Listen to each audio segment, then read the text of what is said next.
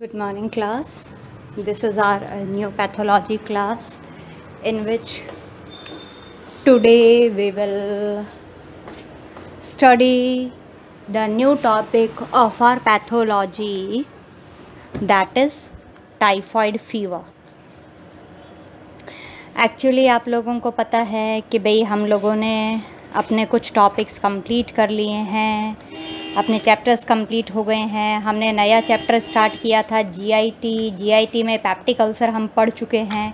हमारा नया जो टॉपिक है, नई जो डिज़ीज़ है, वो है टाइफाइड फीवर एक्चुअली जीआई के अंदर ये दो ही डिज़ीज़ के फॉर्म में अपन पढ़ते हैं, बाकी अपन कैंसर्स पढ़ते हैं जीआई के अंदर तो पैप्टिक अल्सर और टाइफाइड फीवर तो हमारे आज का टॉपिक है typhoid fever typhoid fever is an acute systemic disease from infection with salmonella typhi और साल्मोनेला पैराटाइफाई तो इंट्रोडक्शन इसको टाइफाइड फीवर को अपन एंटेरिक फीवर भी कहते हैं।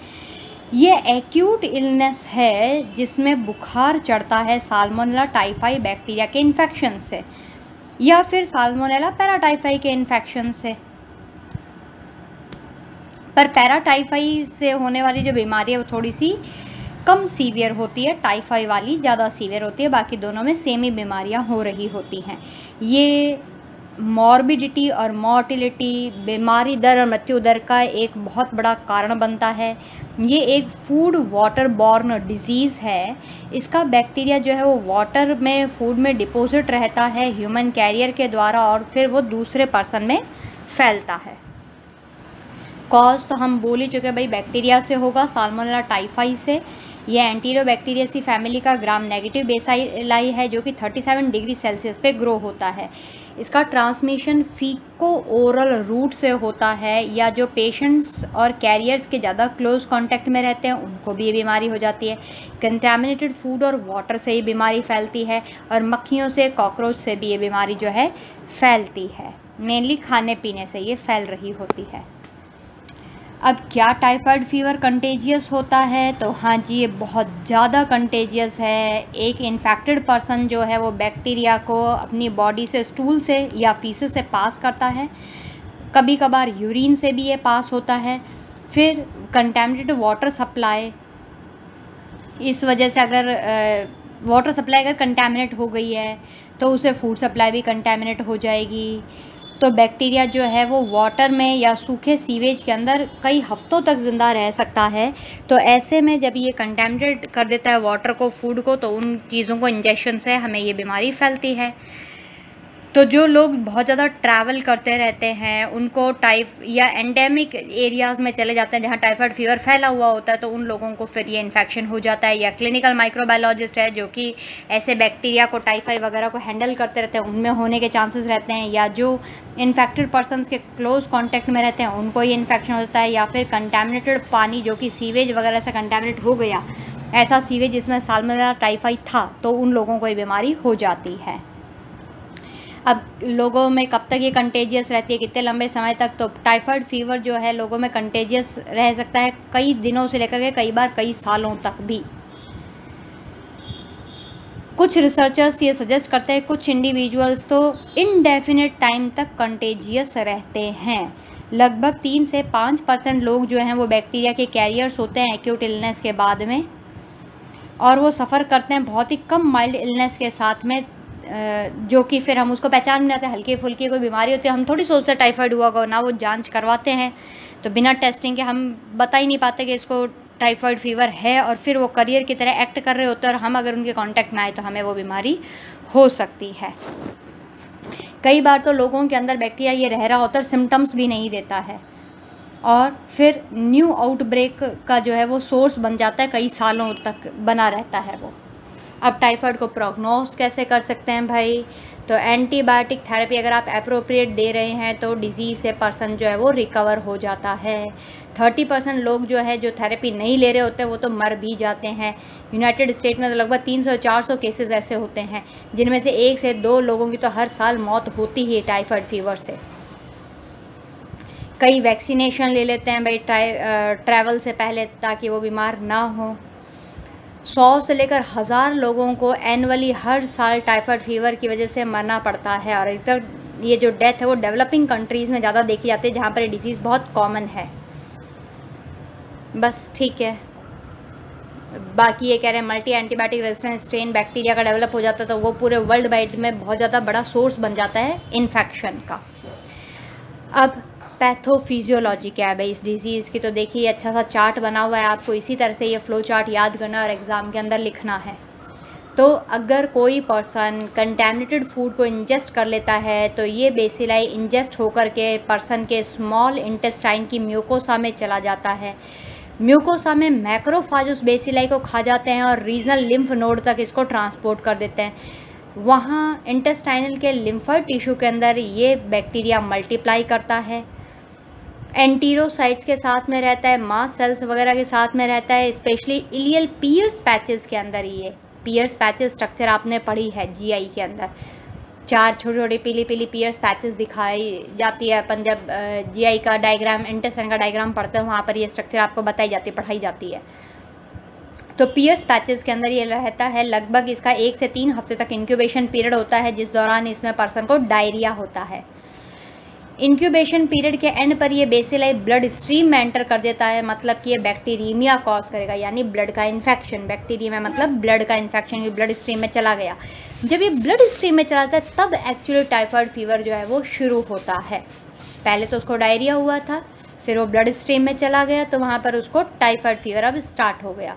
बैक्टीरिया गॉल ब्लैडर में चला जाता है बिलियरी सिस्टम में चला जाता है बॉवल के लिम्फेटिक टिश्यू में चला जाता है, और फिर वहाँ पे मल्टीप्लाई करता है।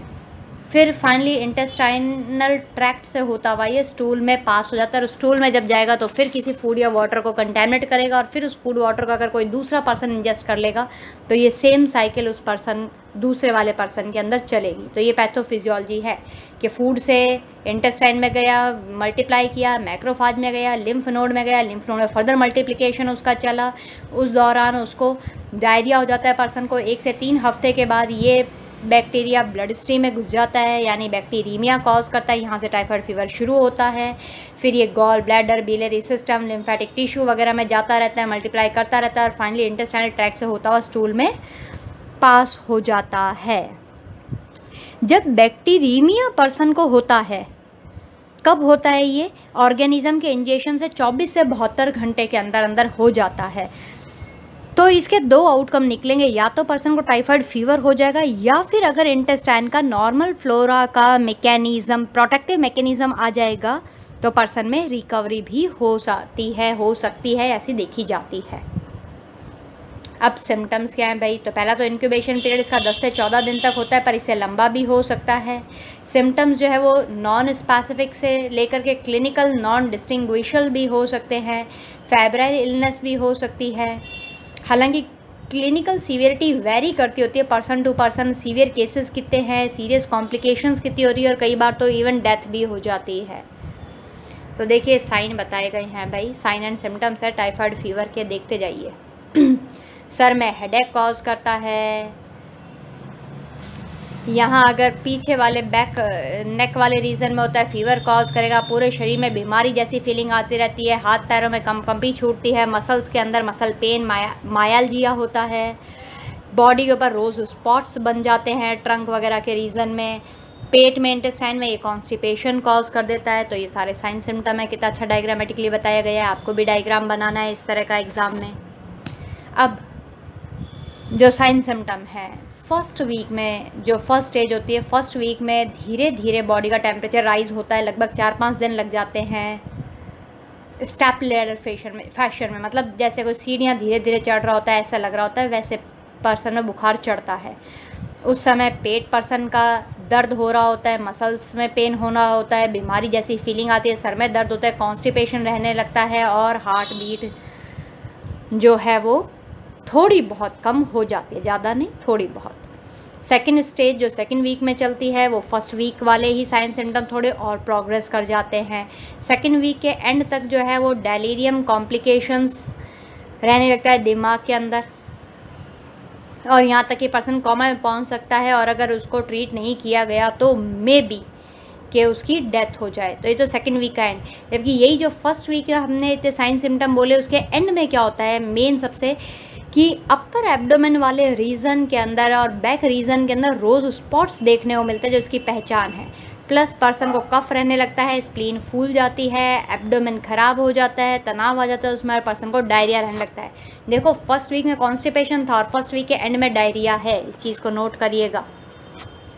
ये देखिए, रोज़ स्पॉट का डायग्राम बताया हुआ, हल्के से उठे हुए से लाल लाल चकते हैं, जो कि प्रेशर डालने पर हल्के पड़ जाते हैं। ये वाइट स्किन के ऊपर ज़्यादा अच्छे से दिखाई दे रहे होते हैं। अंग्रेज़ों की स्किन पे आपने कई बार देखा है ना? अब थर्ड वीक यानी थर्ड स्टेज में क्या होता है? फेब्राइल कंडीशन आ जाती है टॉक्सिक हो जाती है और पर्सन को भूख नहीं लगती है, जिससे कि पर्सन का बहुत ज़्यादा वेट लॉस होने लगेगा। टाइफाइड की स्टेट आ जाएगी, जिसमें पर्सन को एपैथी कन्फ्यूज़न और साइकोसिस दिमागी बीमारियाँ, ये सारी सारी। पाँच से दस परसेंट में हाई रिस्क केसेस के अंदर हेमरेज भी हो जाता है। इंटेस्टाइन में परफोरेशन छेद हो जाते हैं और पर्सन की डेथ भी हो सकती है। फोर्थ वीक यानी स्टेज फोर्थ ये रिकवरी पीरियड है। कि अगर कोई पर्सन फोर्थ स्टेज तक पहुँच गया तो पूरे चांसेस है कि उसकी रिकवरी हो जाएगी। जबकि सेकंड और थर्ड स्टेज में चांसेस डेथ के बनते हैं। पर अगर फोर्थ स्टेज तक पहुँच गया तो रिकवरी हो जाती है। क्योंकि अगर फोर्थ वीक तक पर्सन सर्वाइव कर गया, इसका मतलब उसके अंदर डिफेंस मैकेनिज्म थोड़ी स्ट्रांग है। तो उस दौरान पर्सन को बुखार मेंटल स्टेट और एब्डोमिनल डिस्टेंशन जो थे स्लोली इम्प्रूव हो रहे होते हैं कुछ दिनों तक। इंटेस्टाइनल और न्यूरोलॉजिकल कॉम्प्लिकेशन जो होते हैं वो अभी भी बने रह रहे होते हैं, जिनमें अपन ने ट्रीटमेंट नहीं दिया है। पर्सन के अंदर लास्ट मंथ तक वेट लॉस होने लगता है डेबिलिटेटिंग वीकनेस आने लग जाती है। कुछ सर्वाइवर जो है वो तो ए सिम्टोमेटिक रहता है टाइफाई के केस में तो वो कैरियर होते हैं और वो पोटेंशियली उस बैक्टीरिया को इनडेफिनेट टाइम तक ट्रांसमिट कर सकते हैं। ट्रांसमिट क्योंकि हमें पता ही नहीं होता कि उस पर्सन को बीमारी, हम उसके साथ रह रहे हैं, खा रहे हैं, पी रहे हैं तो हमारे को बीमारी हो सकती है। ये टाइफाइड फीवर के सिम्टम देखिए, दिखाए गए हैं। बुखार चढ़ रही है, तेज़ बुखार हो रही है, सर दर्द हो रहा है, कमज़ोरी आ गई, सूखी खांसी रहती है, पेट खराब रहता है, कॉन्स्टिपेशन रहता है, ये रोज़ स्पॉट अब पैराटाइफाइड क्या है भाई? Course tends to be shorter and milder, ये उससे थोड़ी सी हल्की बीमारी है, एकदम टाइफाइड जैसी, पर थोड़ी सी हल्की है, टाइफाइड फीवर के कंपैरिजन में। इसका ऑनसेट अक्सर जो है वो एक्यूट एंट्राइटिस जब बिगड़ जाता है, तब पैराटाइफाइड फीवर दिखाई देता है एंट्राइटिस पेट की बीमारी है एंट्राइटिस इसमें भी रैशेज़ हो जाते हैं, ज़्यादा दिखाई देते हैं और इंटेस्टाइन के कॉम्प्लिकेशन जो है लेस फ्रीक्वेंट होते हैं। रैशेज़ ज़्यादा इंटेस्टाइन कॉम्प्लिकेशन लेस फ्रीक्वेंट अब कॉम्प्लिकेशन क्या होते हैं भाई? तो मैंने बताया भाई इंटेस्टाइन में छेद हो जाएगा हेमरेज रहने लगेगा। सेप्टिसीमिक फोकाई दिखाई देंगे। बोन और जॉइंट के इन्फेक्शन में सेप्टिसीमिया हो जाता है और उसके वो सेप्टिसीमिया ब्लड के इन्फेक्शन कहते हैं सेप्टिसीमिया उसके फोकाई मतलब एरियाज़ आपको बॉडी में अलग अलग जगह पे दिखाई देंगे, जिसकी वजह से मैनजाइटिस भी हो जाता है, दिमागी बुखार जो हम लोगों ने पढ़ लिया है कोल सिस्टाइटिस गॉल ब्लैडर का इन्फ्लामेशन सिस्टाइटिस हम पढ़ेंगे अभी इसी चैप्टर के अंदर। टॉक्सिक निमोनिया हो जाता है सॉरी टॉक्सिक फिनोमिना के अंदर मायोकार्डाइटिस यानी हार्ट की मायोकार्डियल लेयर का इन्फेक्शन और इन्फ्लामेशन नेफ्राइटिस नेफ्रॉन का इन्फ्लामेशन क्रॉनिक केरियाज के केस के अंदर गॉल ब्लैडर का केरियाज काफ़ी लंबी समय तक गॉल ब्लैडर ख़राब रहती है इसके वजह से। अब इसको डायग्नोस कैसे करें भाई अपन? ब्लड कल्चर करके देख लो। स्पेसिफिक सीरोलॉजिकल टेस्ट भी होते हैं जिसमें अपन साल्मोनेला की एंटीजन एंटीबॉडी को आइडेंटिफाई कर सकते हैं। विडाल टेस्ट जो सबको पता है, अपन टाइफाइड के लिए करते हैं। एलाइजा टेस्ट भी कर सकते हैं। एंजाइम लिंक्ड इम्यूनोसॉर्बेंट ऐसे ये दोनों टेस्ट आपने माइक्रोबायोलॉजी के अंदर पढ़े हैं। इसके अलावा यूरिन और स्टूल को कल्चर कर सकते हो सेकंड से थर्ड वीक के अंदर। स्टूल में तो मोस्टली मिलते हैं कई बार यूरिन भी इससे कंटेमिनेट होता है, इस वजह से उसमें मिल सकते हैं हमारे को बैक्टीरिया बोन मैरो कल्चर करके देख सकते हो। पंच बायोप्सी सैंपल लेकर के रोज़ स्पॉट को कल्चर कर सकते हो। क्लॉट को कल्चर कर सकते हो। इसके अलावा सी एस एफ़ से पैटोनियर फ्लूड से मिजेंट्रिक लिम्फ नोड से। रिसेक्टेड इंटेस्टाइन से gall bladder firing tonsils abscess मैंने बताया था पस को कहते हैं, और बोन मैरो वगैरह से भी, या बोन से भी आप जो है सैंपल कलेक्ट करके उसको कल्चर करके देख सकते हैं। सीरोलॉजी में विडाल टेस्ट को अपन ट्यूब ए ग्लूटिनेशन टेस्ट भी कहते हैं, इसमें ओ और एच एंटीबॉडी जो अपन डिटेक्ट करते हैं। ये टाइफाइड पैराटाइफाइड के टेस्ट में काम आती है, इसमें एच ए ग्लूटिन जो है ड्रायर ट्यूब्स के अंदर और नैरो ट्यूब के अंदर बॉटम में फ्लॉक्यूल के रूप में आपको दिखाई देगी, जबकि एक ग्लूटिनम, ग्लूटिनिन जो है वो फ्लेक्सिक ट्यूब्स के अंदर चौकी जैसी दिखाई देगी, चौक जैसा। 37 डिग्री पर इंक्यूबेट करना पड़ता है, आप पिक्चर को देखिए। तो नीचे देखो, आपको जमे हुए कण से दिखाई दे रहे होते हैं तो जमे हुए कण जो हैं वो टेस्ट पॉजिटिव है, इसका, इसको इंडिकेट करेंगे।